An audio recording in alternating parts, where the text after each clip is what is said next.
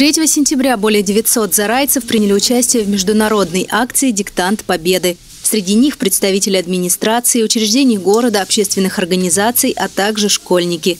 Диктант был направлен на проверку знаний о Великой Отечественной войне и проходил одновременно на 15 площадках, организованных на базе школ. У нас сегодня не только дети пишут, у нас сегодня пишут взрослые. У нас, наверное, сегодня в округе примерно зарегистрировано около 800 человек, которые э, принимают участие в диктанте, посвященной Великой Отечественной войне. Хочется всем пожелать написать этот экзамен на 5 с плюсом. Могу сказать, что даже те первые, кто будет победителем, будет премия. Так что всем хорошего настроения, удачи и отлично написать. Результаты будут опубликованы на сайте акции «Диктант Победы.рф».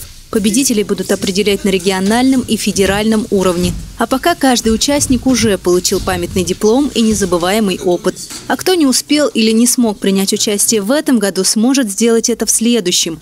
Диктант Победы становится ежегодной акцией. В следующем году его планируют провести в день начала Великой Отечественной войны 22 июня. Людмила Смирнова, Герман Беляев, Константин Куянов, студия «Кван», Зарайское кабельное телевидение.